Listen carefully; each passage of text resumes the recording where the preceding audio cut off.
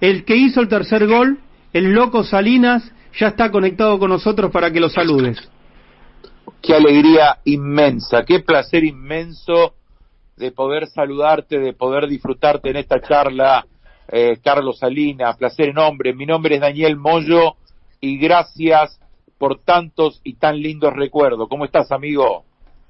Hola, buenas tardes. ¿Cómo estás, Daniel, querido? ¿Cómo andás? ¿Todo bien? Placer enorme, bien. Mira, se me está erizando la piel de, de poder hablar con vos en este momento por tantos recuerdos, por tantas alegrías. Yo vivo en San Martín, así que vos eras mi escapada de los sábados previo antes de ir a ver a Boca. Así que mirá desde cuándo te vengo siguiendo y te tengo en el recuerdo, querido amigo. Muchas gracias, eh, Dani. Y, este, muy, muy contento de poder estar y escuchar ese recuerdo de, como bien decía, de cuando transmitía José María Muñoz, que fue uno de los pocos periodistas que nos acompañó en esa, en esa etapa. Y bueno, eh, volver a esos recuerdos después de 42 años es algo impresionante. Habrá sido el logro deportivo más importante de tu vida, ¿no? Sí, por supuesto. No cabe ninguna duda, ganar la copa, la primera copa y más con, con, con Boca es ha sido algo fundamental. También fue fue importante, lógicamente, ganar campeonatos y ganar la Libertadores, pero llegar ya a lo máximo como un torneo europeo así de clubes es algo fundamental, algo importante. Eh, y no te cansás de hablar de esto, porque son esos recuerdos y esos momentos cuando eh, te diste cuenta que eran campeones del mundo, cuando estabas convencido que la Copa, cuando llegó el gol tuyo, el tercero, o ya antes decía esto está cocinado. No, todavía no, ni cuando íbamos 3 a 0, porque no, la verdad que no, no sabíamos cómo iba a reaccionar el, el Borussia de local, porque de acá el primer partido que jugamos la, en cancha de Boca, eso fue en marzo, empatamos 2 a 2 y bueno, y se vio que era un equipo eh, donde había que prestarle mucha atención. Y iba a cambiar también eh, la cancha de juego donde no no eh, nosotros tenemos eh, en ese momento se usaba el pasto un poco más alto y ellos ya jugaban la cancha parecía una mesa de billar donde eh, tenía que estar bien despierto bien rápido y, y bien concentrado para poder este, no perder movimiento y todo eso y bueno este, ahí cuando íbamos 2 3 a 0. Ya después, el segundo tiempo, lo atajó todo Gatti, terminó el partido y recién me di cuenta cuando llegamos al hotel, que después de, de, bueno, de, de, de, ducharnos y todo eso, nos reunimos en una sala del hotel y bueno, y ahí sí me di cuenta realmente de que habíamos salido campeones y, también cuando ya llegamos aquí a la Argentina, había una inmensa que estaba todo eh, toda la autopista estaba lleno de gente, era increíble. Toda la gente que no esperábamos, nosotros no esperábamos tanto recibimiento hasta, la, hasta que llegamos a la Candela y ahí fue que nos seguimos festejando también. Contanos recuerdos de ese plantel, el más quilombero, eh, el más serio, el más entretenido, el que le gustaba jugar más a las cartas. Contanos cosas que no leímos, que no estudiamos, que no vimos y que en esta tarde donde tenemos mucho para charlar nos podés ir contando. Contanos cosas de ese maravilloso plantel. Bueno, en las concentraciones siempre no, había parejas para jugar al truco, eh, así, a jugar a los naipes y este eh, bueno, mi, nos juntábamos de a así, pero para con, con, con total diversión, para divertirnos. Y después teníamos al Pancho Sá, que tocaba la guitarra, también nos entreteníamos, porque no te olvides que en esa época, bueno, Lorenzo le gustaban mucho las concentraciones, así que vivíamos concentrados, nos llevaban lejos, no estábamos en hoteles de centro, estábamos en hoteles, estábamos en la Candela, donde que allá por camino de cintura, un lugar, una quinta muy lejos, donde no no no no no entraba casi nadie ahí de noche a las 7, 8 este, ya eso se hacía como a las 2, 3 de la mañana y bueno, y entre, eh, concentrábamos los viernes y hasta los domingos y por ahí nos quedábamos hasta los lunes. Y bueno, había compañeros, este, todo, todo éramos un grupo muy unido, eh, cada uno tenía su compañero de su, su compañero de habitación, estábamos así, este, nos juntábamos, nos reuníamos, jugábamos las cartas, nos divertíamos, los mediodías, los sábados venía el presidente, don Alberto J. Armando, venía con su mesa directiva, venían a almorzar con nosotros para tratar de acortar el día sábado. Y bueno, la, la verdad que la pasábamos muy bien. ¿Vos con quién dormías en la habitación? Bueno, yo fui compañero de, de, Omar Perotti. ¿Perotti? Sí. Ajá, ajá. Este, ¿Y qué, otro, qué otros binomios te acordabas, por ejemplo? ¿Gatti con quién dormía? ¿Te acordabas, por ejemplo? Creo que estaba con Mastrangelo. Eh, después, bueno, estaba Pernía con el Colorado Suárez. Eh, y así estaban de a dos, así, de a dos, de a tres, de a cuatro. ¿El capitán Suñé? Sí, Suñé estaba con Carlito Esqueo. Con Esqueo, perfecto. ¿Sanabria? Y Marito estaba, creo que con el Toti Beglio. El Toti Beglio, qué lindo. ¿El Chino Benítez? El Chino, el Chino estaba con, este, con creo, a ver, no, no me acuerdo bien, el Chino creo que estaba con Tesari, algo así. Con ¿El ruso Rivolsi? y el ruso eh, no me acuerdo a ver creo que con el Colorado Suárez algo así estaban bien. Es verdad que había algunos que roncaban porque fumaban roncaban y entonces se separaban. Es verdad eso esas versiones que había no no nosotros ahí en la candela es decir la pasábamos bien porque teníamos todas las canchas para practicar y este eh, al mediodía, a la noche así, ya cenábamos temprano, a las nueve de la noche, y a las once eh, terminábamos de cenar, jugábamos algún truquito, algo, y ya después a las doce ya nos íbamos todos a dormir. La pasábamos bien, un equipo muy unido, un equipo, este, la verdad que compañero excelente. Bien, vos sabés que estamos haciendo con esto de la cuarentena, cada uno de nosotros está Fernando Presti en los estudios centrales y después está Horacio Zamudio en su casa, está Marcelo Lerner en su casa y está el Bohemio en su casa. Ahí te saluda el Bohemio que quiere hacerte una pregunta. Hola Bohemio, buenas tardes, ¿cómo estás? Hola. ¿Ruso? Fernando? Sí, claro que está. Hola. ¿Lo escuchan ahí? Ah, ¿Al bohemio? Ahí está Salinas al aire. Bueno, como diría el Toto Lorenzo, viejo, no se acuerda de nada, viejo, ¿con quién dormía? Lo voy a traer a Salinas de Chacarita, porque es guapo, juega muy bien. Negro querido, gran jugador, gran actor. El ruso Rigor si te habla, negro. Hola, ruso querido. ¿Cómo estás? ¿Cómo andás, loco? Pero 100, casi 200. ¿Para qué voy a decir 150? vos sabés que vos sabés que el negro, la verdad, eh, es divino. Es divino porque lo que nos hizo reír y como jugador te digo, nunca vi, nunca vi un partido, creo que fue con el Argentino Junior de la cancha de Boca. Empieza el partido sacan del medio. Y nos tocó sacar a nosotros, a los de Boca. Nunca lo vi. Se la tocan al negro, le van cuatro jugadores de Argentinos Junior a matarlo, a cortarlo. Era increíble cómo hacía enojar, cómo hacía enojar al rival. Y qué jugador, y guapo, y guapo encima. Gracias, Russo. Un fenómeno, negro. Y eso fue también, no sé si te acordás, partido que jugamos con Gimnasia y Grima de la Plata en cancha de Boca, que le hice echar dos jugadores aquí en la cancha de Boca y después también me querían matar allá en la plaza y después también le hice echar dos más allá. Pero ¿qué es lo que hacías? A ver, ¿qué hacías? ¿Los hacías calentar? ¿Le hablabas? ¿Qué hacías? Y bueno, No, lo que pasa es que por, eh, hablaba por ahí, hablaba mucho. Eso fue por eso eh, que cuando me echaba, este, me echó a Ben Yeco, porque me echaba porque le transmitía, dice que él que le transmitía el partido. Porque antes que había un full, decía, bueno, le decía full para, para Boca, decía yo. Y decía, escúcheme, yo soy el referí.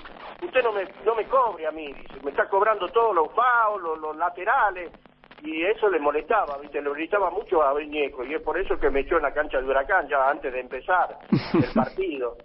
Ya me había dicho, me dice, mire, que no me empiece a transmitir el partido, de que me transmitir a mí. Ya antes ya, ya, ya, ya, ya estaba premeditado todo para que me echaran. No me quería, no me quería tener. Así que por eso eh, algunos se calentaban, entraban ahí, pero eh, bueno, eso fue lo que estaba diciendo el ruso, fue increíble. Pero más lo que más me acuerdo es cuando con Gimnasia y Grima de la Plata, que ese año salimos un campeón, nosotros, porque si ganándole a Gimnasia, eh, creo que salíamos campeón del torneo. Y bueno, y ganábamos 1 a 0, 2 a 1. Fue, entró uno de, no sé si era Fornar y no sé quién, entró, metió dos goles, nos ganó 3 a 2. Fuimos su campeón. Y ahí le, le, le hice echar dos y dos allá, tenían cuatro. Un día, un día, Dani. Sí, Rusito. Un día eh, fuimos a jugar a el torneo Valencia, el torneo Naranja, ahí en Valencia. Sí. Y tomamos el avión acá en Ezeiza y hicimos escala en Dakar, previo a ir a Madrid. Y resulta que en Dakar tuve un negro grandote de un de, de, de 20 metros de altura. Imagínatelo. Negro, negro, negro, y vestido, vestido con una túnica. Y vamos por el pasillo, yo voy atrás del loco, el loco me dice, mirá como lo a este negro grandote. y el negro le dice, mirá que hablo español. No tenemos ¿Qué ah, es un fenómeno. ¿Qué rusa? Lo que no sé le pegué un pisotón al negro, me quería matar. Me dice, y yo le decía, no comprendo, no comprendo. Me dice, me ha mostrado los brazos, un sapo así, tenía un músculo. en una vez en, en Foca, nos habían dado unos cheques. Y el negro, el loco, ¿qué hizo? Fue a los dirigentes que le largó a llorar que había muerto un familiar que no tenía plata para el entierro, nada. Cobró todo en efectivo. Se deja buena plata, cobró todo en efectivo, pero lloraba, lloraba, no, el héroe es una torazo. ¿A, quién había, ¿A quién habías matado, loco? No, lo máximo fue cuando viajamos, ¿te acordás, Ruso, cuando fuimos a Nueva York a jugar con el Cosmo, que nos había regalado ese partido Armando? para que vayamos ahí, qué sé yo, y fuimos, bueno, a Nueva York, y estuvimos en Nueva Jersey, y de ahí volvíamos, íbamos a Nueva York, y volvíamos, qué sé yo. Bueno, pero yo antes me, ya íbamos en el avión de acá, y allí todo el barrio, aquí de Caballito, me habían dado lo que me conocían, me habían encargado un montón de teléfonos, que ese teléfono a tecla, me pedían de todo, pedían más que un ciego. Así que agarré, y me agarraron y me, y bueno, y me, llevé como dos mil dólares. Y me subo al avión y eran como seis, siete horas de vuelo, entonces le digo al, al médico, al doctor Ferry, que me diera alguna pastillita, algo para dormirme, entonces me tomé un baño y me dormí y, y después me, me, despierto allá por Los Ángeles, había que hacer, este, yo pensé que iba directo, había que hacer escala y bueno, me, el último que me despierto soy yo que estaba solo en el avión y viene uno y me dice, la zapata me dice, tiene que bajar. Entonces agarro el saco y me voy y, para, había que hacer este aduana ahí, había que hacer sellar el pasaporte y me bajo y me dejo el bolso. Y después cuando vuelvo, me encuentro el bolso mío de primera, me habían choreado los dos mil dólares. Me quería matar, no sabés que estaban todos sentados en el avión, y le digo, a mí, a un tucumano me van a robar. Sin vergüenza que este, este el caso que se me desapareció. Bueno, se me, bueno, vamos a Nueva York, al, hotel ahí en Nueva Jersey, qué sé yo. Eh, me había tocado la habitación con Mario Sanabria. Llegamos, dejamos el bolso, qué sé yo y qué sé cuánto. Y bueno, me empiezo a sacar los zapatos, que le había tenido los 2000, le había tenido una mes. y hablando, claro, lo me metí en la media y cuando agarré en el avión y empecé a gritar a mí, a un tucumano, que se, entonces vino, se levantó, estaba Armando, todo, y dije, ¿qué pasa? Entonces se acercó Armando y me dice, ¿qué pasa? Y le digo, escúcheme, no sé, ahí me están diciendo que la gente que subió a limpiar me, agarró y me, y me apagaron los dos mil dólares, que traía acá para el colmo era un encargo, no era plata mía. Uh, ¿qué te... Entonces agarró Armando y me devolvió los dos mil. Me lo dio. Y cuando llego al hotel me lo reviso y me dio en la media. Entonces le digo a Mario, Mario, no diga nada, toma mil para vos y mil para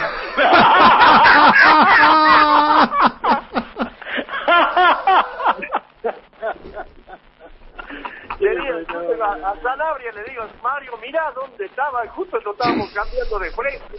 Que si yo había dado vuelta y estaba la, y hubiese puesto la espalda a la cama, capaz que no le daba ni los mil a más. ¿Qué va a ser justo? Me dice, mira dónde estoy. Hasta eso, digo, llueve, llueve sopa y tengo un tenedor, no puede ser.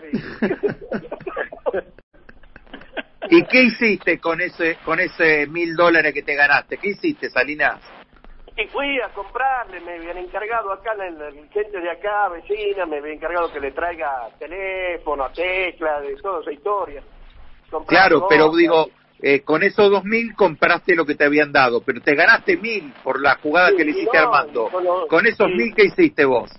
Y no, bueno, eso lo tuve encanutado, no lo gasté.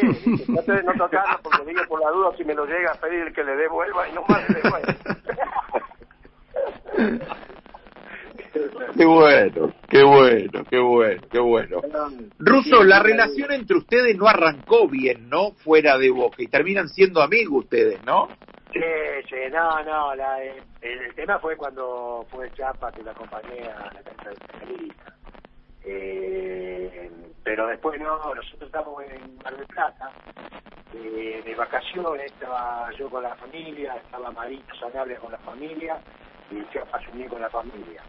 Y lo llama Juan Carlos de Buenos Aires a Chapa, yo estaba con el Chapa y con Mario, y lo llama y le dice, eh, lo plantea Chapa, ¿viste? Que tenía pensado, que estaba casi hecho la, la transferencia de Salinas a Boca, y el Toto, ¿viste? Vive de pillo, pronto a ver qué decía el capitán, ¿viste? Y el Chapa no, el Chapa dijo, sí, tráigalo, que es buen jugador y todo, ¿viste? Nada, no, no, no. Sí, no. Después llegamos a Necochea, creo que fuimos a Necochea ese tiempo. Y, bueno, y ahí estuvimos, no, después de enero, un fenómeno, aparte como jugador, como equipo, nos cagamos la risa permanentemente, un personaje, y un gran jugador, pero un gran jugador. Gran jugador, gran jugador, un gran jugador. ¿Habrá sido ese partido que hiciste en Alemania, Salinas, el mejor jugador, el mejor eh, partido que hiciste con la camiseta de Boca, de los muy buenos que hiciste? Y puede ser, pero tácticamente. Es decir, eh, estaba bien, eh, tácticamente significa que estuve bien ordenado dentro de la cancha. No tuve desequilibrio de moverme para ningún otro lado. Eh, me había pedido que ocupara la, la, la franja derecha, que, que sube y que, que, que, suba y que acompañe a los delanteros y que bajara también a, tratar de ayudar en el medio. Entonces estuve bien ordenado, no estuve desordenado. Por eso me parece que eh, lo recato como que fue un gran partido. Vos sabés que lo Vi- que... eh, eh, una Sí, de- sí, Rosito. A ver, el loco, eh, muchas virtudes, muchas virtudes. Pero yo vi una gran virtud de que él te podía jugar de primera o podía hacer el mano a mano. Te resolvía esas dos jugadas importantes, importantes para un jugador. Que de repente uno tiene más, tiene más eh, solvencia para tocar, eh, acompañar, y en el mano a mano se le complica. O tener el mano a mano y la querés tener siempre vos. Y el Nilo tenía esa virtud, esa, esa, esa, esa, esa jerarquía. Él podía jugar, hacer una pared con el que sea, con el chino, con el tapa, conmigo, con el toki, y también en el mano a mano. Y la dos la resolvía bien. Y la dos resolvía bien. Bien, ahí está Fernando Pérez, está Horacio Zamudio, Marcelo Lerner que se incorporan a la charla. Vamos muchachos a disfrutar de este verdadero show boquense con Salinas y con Rivolsi. Sí, yo, yo más que sumarme a admirarlos, decirle admiración profunda, bueno, que el ruso ya sabe porque habitualmente me, lo cruzo, pero al loco Salinas es la primera vez que tengo la posibilidad de saludarlo y decirle mi admiración profunda, pero lo dejo a Horacio, a Marce, que también tuvieron la posibilidad de vivirlo más que yo, yo era un purrete eh, por el 78, pero tanto Horacio como, como Marcelo creo que tienen cosas para preguntarle al loco y bueno, y al ruso como siempre, ¿no? Horacito. Hola Carlos, ¿cómo estás? Hola, ¿cómo estás? Buenas tardes. Bueno, bueno, el agradecimiento primero para, para todo lo que diste por Boca eh, y, el reconocimiento de ese, esa, partido que no pudimos ver. Yo recuerdo estar en la oficina trabajando con la radio, tratando de escuchar de cualquier manera. Este, bueno, yo le decía ayer, justo hablaba con, con Jorge y le decía que para mí fue el partido más importante de Boca. Yo lo pongo por encima de Real Madrid. Después vamos a profundizar un poco de eso. Pero creo que la primera vez siempre siempre tiene un, sabor especial. ¿Vos cómo lo evaluás, Carlos? ¿Lo evaluás también así como una, una victoria? Eh, Boca tiene que jugar de visitante, había empatado el primer partido. Era como muy dura, ¿no? Sí. Y el primer partido nosotros íbamos eh, ganábamos 1 a 0, íbamos adelante y después se nos complicó, nos dieron vuelta a ellos y, y bueno, gracias al ruso después pudimos empatar el partido, empatamos 2 a 2, eso fue en marzo. Y, y muchos no nos daban tampoco para la vuelta porque porque nosotros eh, mucho el periodismo no nos creía de que podíamos dar vuelta al partido de que se nos iba a complicar. Nos acompañaron un poco periodistas y y bueno y tuvimos tuvimos la suerte de, poder este, hacer un, un, buen planteo eh, una cancha como te vuelvo a repetir una cancha rápida una cancha muy rápida estaba lindo para jugar porque tenía que tener mucha movilidad donde también Lorenzo había este, movido un poco la defensa no lo puso a Roberto al Panchito, empezó a sacar gente, puso gente más rápida ahí, él creía que con eso estaba, estábamos ya ahí, íbamos a andar bien, y bueno, eh, para Boca fue algo, lógicamente, eh, para todos nosotros, para la hincha, todos, ganar la primera Copa Intercontinental con Boca significa algo muy grande y muy importante. Ahora, Carlos, voy a ir un poquito en tu, en tu historia como jugador y Poca gente tal vez recuerda que vos te iniciaste en River y que llegaste a jugar un poquito en River, de ahí pasaste a Chacarita y de ahí llegaste a Boca. Vos que estuviste en los dos lugares, ¿cuáles fueron para vos, más allá de la trascendencia de tu, de tu actuación, ¿cuáles, cuáles son las grandes diferencias entre los dos lugares? Bueno, pasa que en Chacarita, eh, después, es decir, de River, cuando me estuve en River, yo llegué a los 17 años, de Jujuy, y vivía en la cancha de River ahí arriba en la concentración, estuve dos años ahí, tenía edad de sexta división, nunca llegué a jugar en inferiores, empecé en tercera y después empecé a alternar en primera. Y tuve dos temporadas y ahí me fui a Chacarita porque me quería Vélez y Chacarita me fui a Vélez, me fui a Chacarita porque Chacarita un equipo donde veía que iba a ser una vidriera, que me podía mostrar y tiraba caña, hacía sombrero, y, gambeteaba, bueno, también teníamos a Isquia, ahí de a la derecha, lo tenía Claudio Marangón, y teníamos un medio campo fuerte. Y después, bueno, cuando llegué a Boca, en Boca ya tuve que cambiar también el, el estilo de juego, ya tenía que acostumbrarme, como decía Lorenzo, hay que ponerse el mameluco, tirarse a los pies, en Boca el azul es lucha y el amarillo es oro, ahí había que mm. meter, meter y meter y bueno, me tuve que acostumbrar. Y, y en sí, yo siempre, toda mi familia somos, siempre hemos sido de Boca, así que llegar y tener un título tan importante con Boca es algo que no me lo olvido nunca jamás en la vida. Y Carlos, ahí te toca, cuando llega Diego, irte con Marito Sanabria y con Carly Randazzo a Argentinos Juniors. ¿Te quedó un sabor amargo por no haber podido jugar con Diego? ¿Te, hubiese gustado? ¿Cómo, ¿Cómo te imaginarías que habría sido una sociedad vos con, con Maradona? No, yo la verdad que, es decir, eh, si, si tenía que continuar en Boca, eh, estaba bien, pero bueno, eh, los directivos habrán creído que mi ciclo se había cumplido y pusieron una lista donde le pasaron a Argentino Junior porque Maradona valía tanto dinero, Boca no tenía todo el dinero para pagar. Entonces dijeron, bueno, damos la mitad del dinero y damos y ponemos hacemos una lista de jugadores para que pueda elegir este, el técnico, que en ese tiempo era el técnico Miguel Ángel López de Argentino, y ahí de esa lista nos, sale, nos, no, elige a Santos, a Sanabria, a Randazo, a Bordón y a mi persona. Así que fuimos los cinco en parte de pago. Este a Argentino Junior.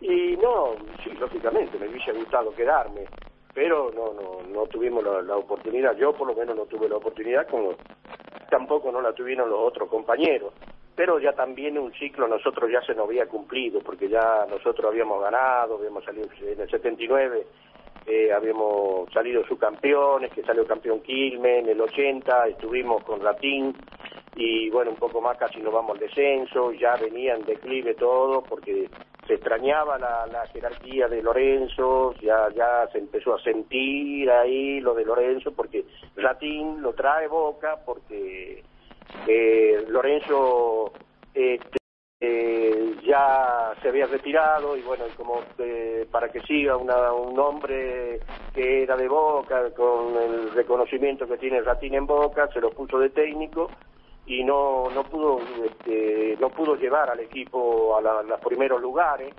y nos tocó casi tocar el descenso, irnos al descenso y bueno, y ahí hubo, hubo que hacer una depuración del grupo donde trajeron otros jugadores, vino en ese también Maradona y algunos se tuvieron que ir y en ese caso nos fuimos nosotros de buena fe, nosotros, por lo menos yo de mi parte, ni ninguno de mis otros compañeros, ninguno hizo problema en irse, porque si no, nadie nos podría obligar a ir, no nos podríamos haber quedado. Decimos, viene Maradona, el mejor jugador del mundo, y no me voy a ir para otro lugar, sabiendo de que iba a tener un montón de, de, jugar partidos amistosos por todos lados, de viajar, de hacer un montón de cosas con Maradona. Pero bueno, el tema se, se hizo, se dio así y así lo hice. Eh, este, fuimos a Argentino, donde Argentino también eh, el zurdo López no había llevado, no había pedido de la lista, estuvo dos meses y él después de ahí de los dos meses Miguel Ángel López se fue a Independiente y nos quedamos ahí con Popé Tardivo y bueno en Argentino hasta que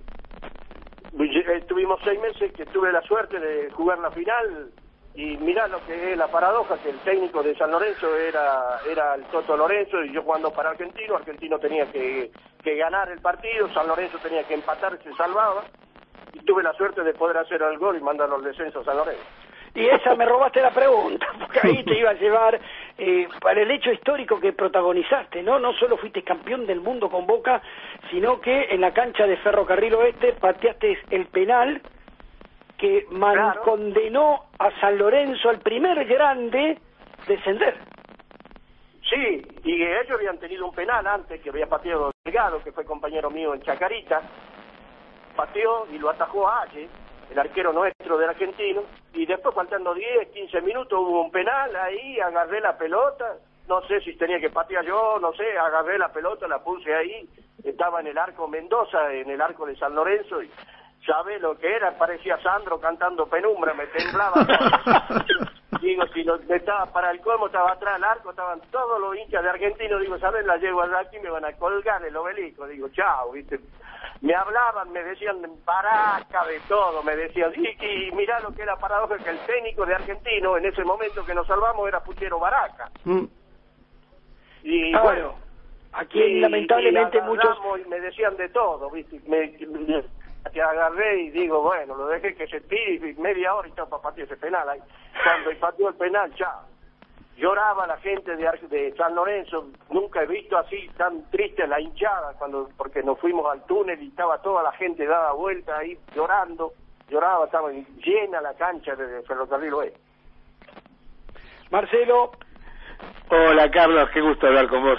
La verdad que estamos eh, disfrutando esta charla con, con Carlos El Loco Sarinas, eh, eh, un prócer. hola Jorge, ¿qué tal? ¿Cómo andás, amigo? ¿Cómo te va, Marcelo? Hablen un poco, hablen un poco entre ustedes dos del Toto Lorenzo, qué, anécdotas del Toto, qué, qué es lo que más eh, eh recuerdan de ese viaje.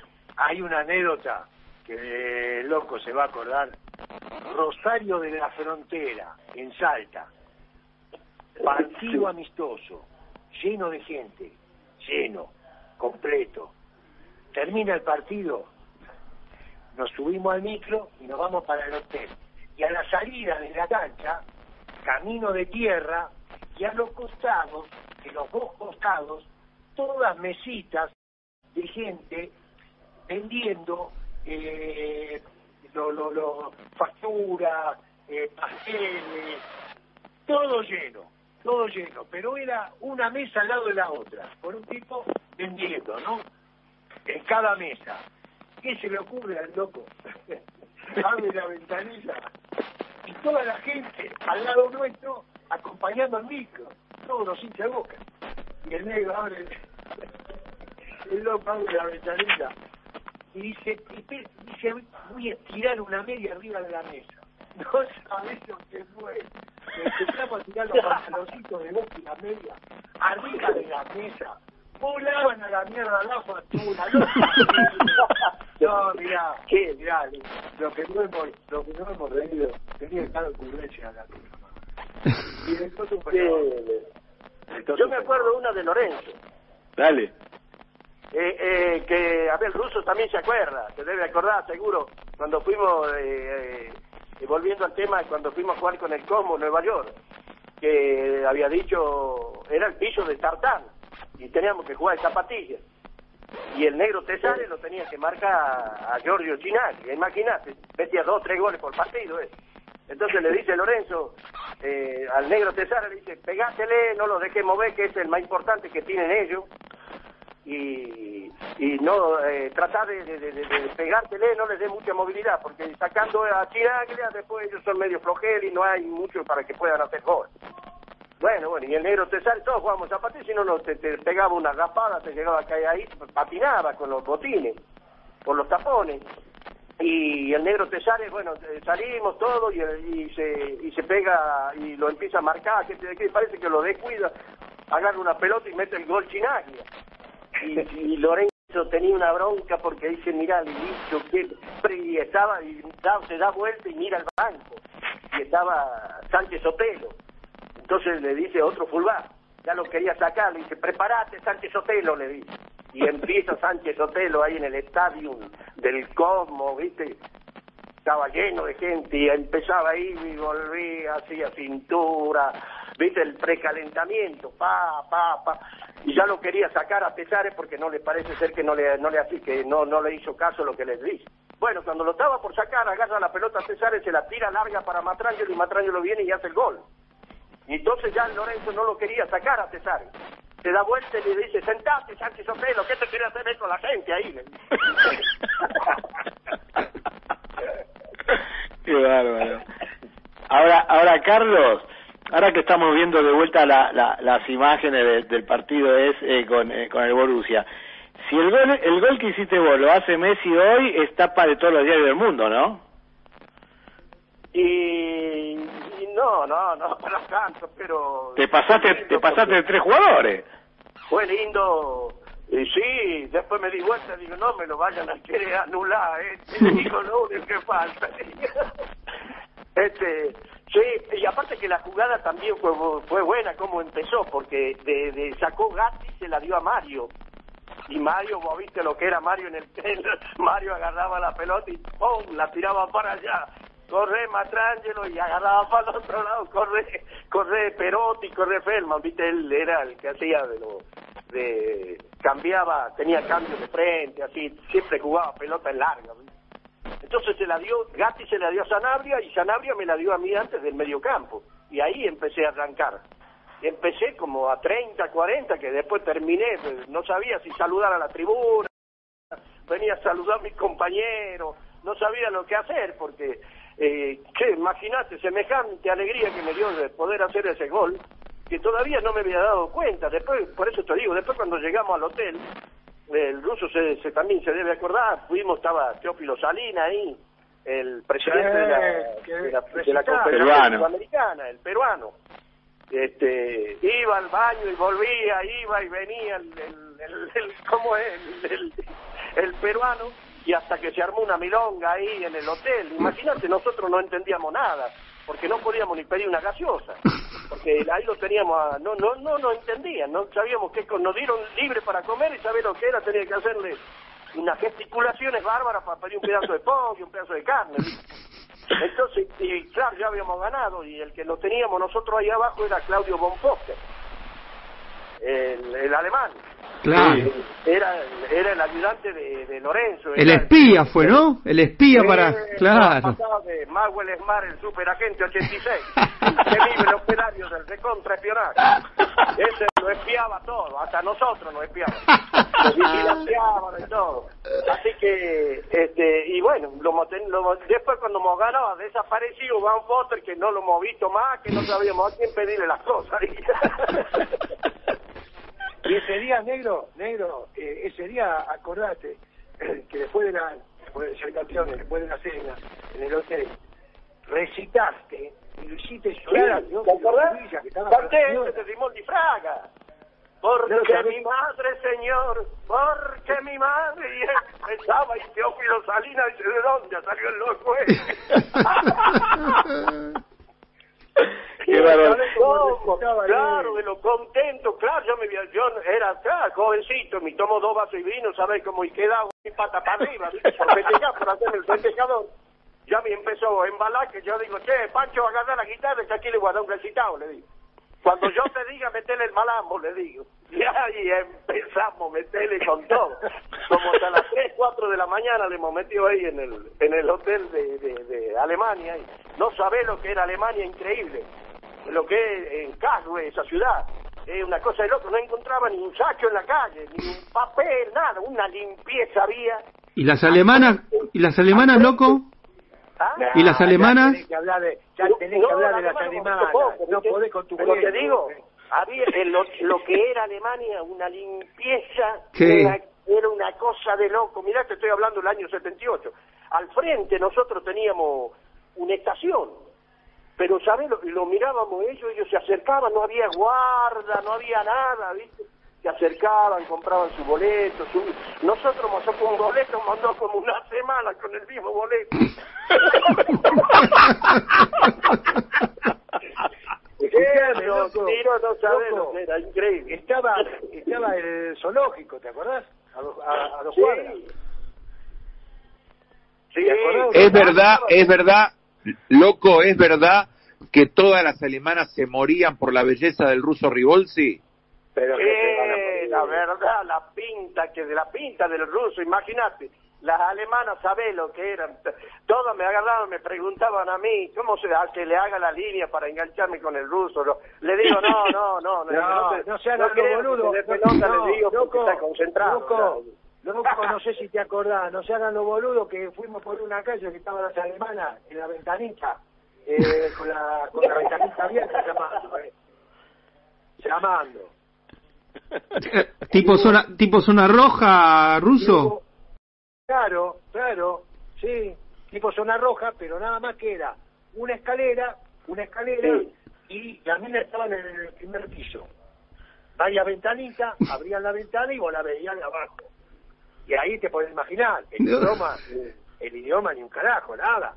Salina. Salina, ¿y quién compró sí, sí. cariño en ese viaje?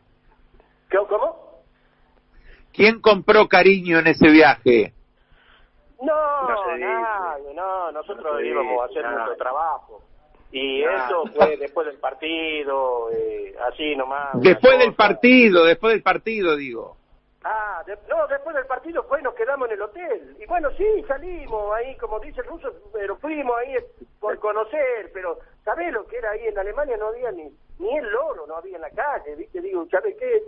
Estos están más solos que los suplentes de los Reyes Magos, no hay nadie acá. le digo, ¿Cómo pueden sí, eh? Y así, ¿viste? Un más aburrido que chupó un clavo, era así, ¿sabés lo que? No conocíamos a nadie, no entendíamos, la, no entendíamos nada.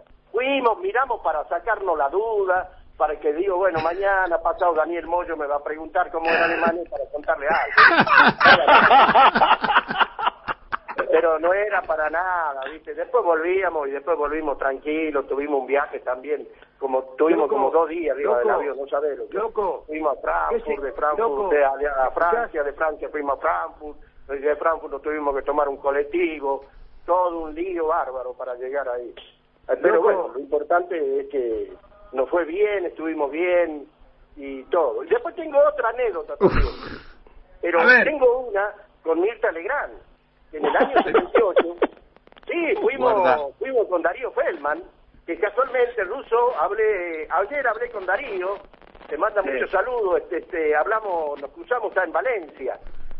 Y estaba, estaba eh, dice buenas noches, dijo, me dijo ayer, buenas noches, estaba de Valencia, buenas noches, que esto y que- buenas noches, y acá era tarde, le digo, estoy cenando con un amigo, ¿vos estás cenando? Le digo, yo estoy tomando mate acá, le digo. Así que, bueno, y nos saludamos, y nos mandó saludos, nos conectaron con Darío, y bueno, y con Feldman nos invitaron a Mirta Legrand, después del partido de, de ganar en Alemania. Y estábamos con Mirta Legrand ahí, bueno, todos, Lili Zulio y María Creusa. Esa que canta Necesito di parlar. Romántica. ya estoy, parece Guillermo Coppola, yo, romanticista. ¿viste? Entonces, este, y bueno, y estábamos en la mesa, y me pregunta, nos preguntaron ahí cómo era el asunto de Alemania y todo, y sí, todo bien, lo mismo que le había comentado. y bueno, y en eso estaba Lili Suyo, la que adivina los signos. Me pregunta, me dice, Salina me dice, ¿y usted de qué signo es? Le digo, yo soy pisciano. Ah, dice, los piscianos van a tener mucha suerte porque el cuarto menguante se va a juntar con la luna la luna va a ir para las estrellas, digo, esta me está pegando una chamullada, y esto y aquello, y bueno, el caso es que, bueno, terminamos de comer, salgo para afuera para, para ir, ya había terminado el programa, y me voy para afuera, ¿sabe quién me había llevado el coche de la grúa? Me quería matar.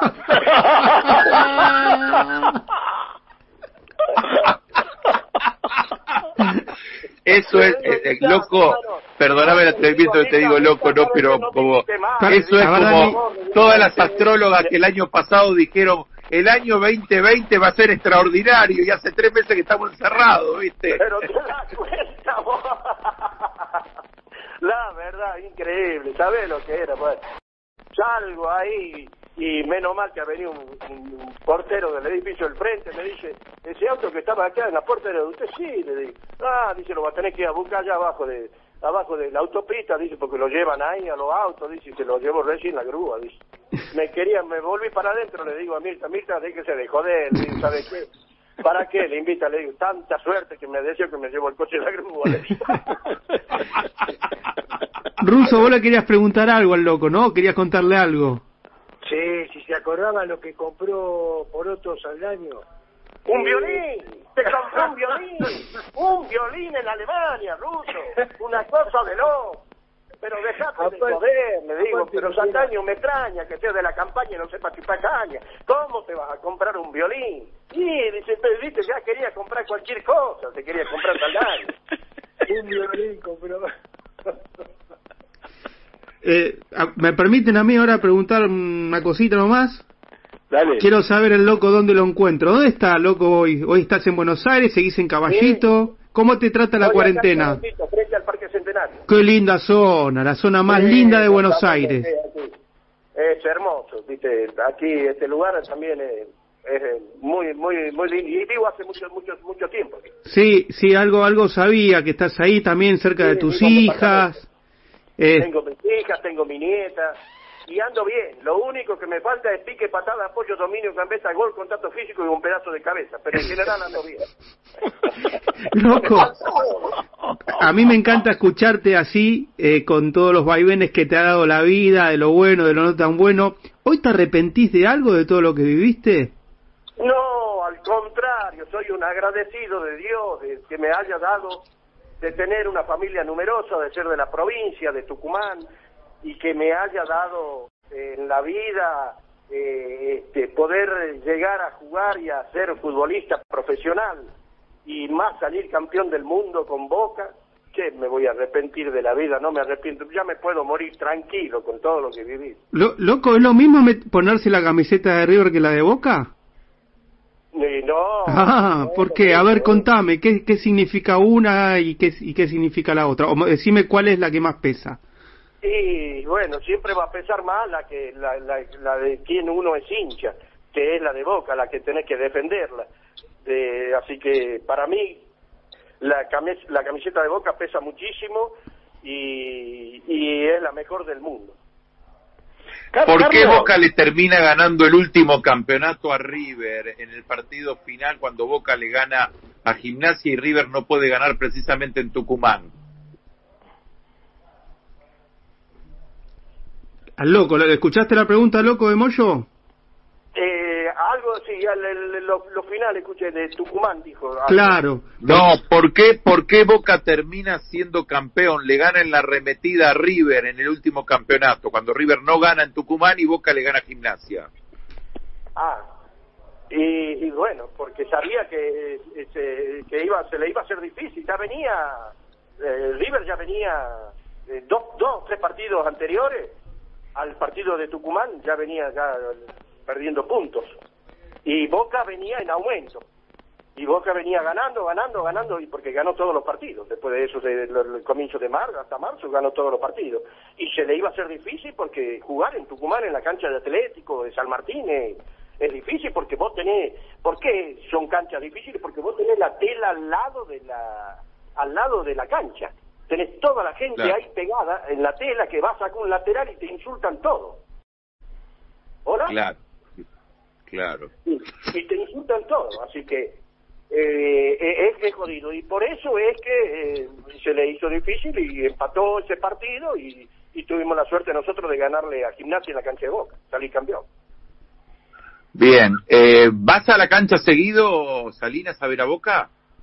Ah, sí, algunas veces voy, algunas veces, algunos Bien. partidos voy, voy, voy, cuando es en cancha de Boca voy siempre y si no lo sigo, lo sigo siempre, estoy siguiendo siempre a Boca. Aparte que estoy también Bien. con la con la con la mutual estoy de Boca. Ah, qué bien, qué bien, qué bien. Buenísimo. Ruso, encárgate, cuando se levante la pandemia, tenemos que tener un día entero de, con cuatro o cinco que estuvieron ahí en Alemania, una linda comidita. No lo invitamos a Mar del Plata va- eh, en enero, no, porque no sabemos qué va a pasar, pero tenemos que armar una linda comida con el loco, con Marito, Daniel, con Beglio y repasar todo esto. Ruso, ¿no te parece? Daniel, Sí, no, vamos invité a no le invité a Lili Suyo, eh, por favor. lo vamos a hacer, eh, vamos a hacer, vamos a hacer una cena para juntarnos y, y te digo, eh, loco, me pone feliz que te veo bien, que estás bien, estás, que estás como como eras vos, eh, un tipo alegre. eh, Gracias, Lucho. Y realmente me pone feliz, te digo la verdad. Y aparte, charlando y recordando todo esto, ese grupo humano que había, esos compañeros, amigos, eh, ese equipo, todo lo que se jugaba, eh, todo lo que dejaba dentro de la cancha, eh, toda la, la- todas las puteadas que nos dentro de la cancha para, para, para poner sobre nosotros la camiseta de boca. Ese, ese, ese, ese tipo y esos compañeros, esos amigos, eh, bueno, un poco la nostalgia y me pone feliz, loco, de verdad, eh, me pone feliz. De verdad. Gracias, Lucho. Gracias igualmente. También quiero eh, que, que me den una oportunidad para saludar a la familia, a todos, de, de Miguel Ángel Bordón, que se nos fue, de José Luis Tesares, eh, de jugadores que también compartieron con nosotros y bueno, siempre están con nosotros, estarán en nuestros corazones y en el recuerdo siempre. Qué lindo este cierre, qué lindo, ¿eh? Qué pedazo de tipo los dos. Con el ruso tengo la suerte de decir que soy amigo, lo amo al ruso, es un tipo extraordinario y contá conmigo en todo lo que necesites, Salina, y vas a ver que pronto, en cuanto se vaya toda esta porquería de la pandemia, vamos a armar una comidita y a encontrarnos más seguido porque este tipo de gesto nos hace felices a todos. Besos gigante a los dos, amigos. Muchísimas Gracias, Dani. gracias, Daniel. Que tengan una muy buena transmisión, que la pase bien y por darme de- la oportunidad para tratar de, de, de- de llegarle a la gente de Boca y un saludo grande a todos los hinchas de Boca. Un abrazo y te saludo, Ruso, querido. La, nos, Chao, nos estamos mirando, nos estamos viendo. Te quiero mucho, chao, loco. Chao, chao, Dani, Marcelo, Horacio, a todos. Chao, abrazo. Enorme a los dos, que Dios los Chao, bendiga Rusito. inmensamente. Y Chao, como loco. dijo recién Horacio, Chao, chao. gracias por tanta alegría que nos dieron. Un beso grande. Impecable, Chao, chao. Fer, impecable. eh. Eh, la verdad, yo todavía tengo la, la piel erizada eh, de escucharlos a ustedes, de escucharlos a ellos dos, sobre todo.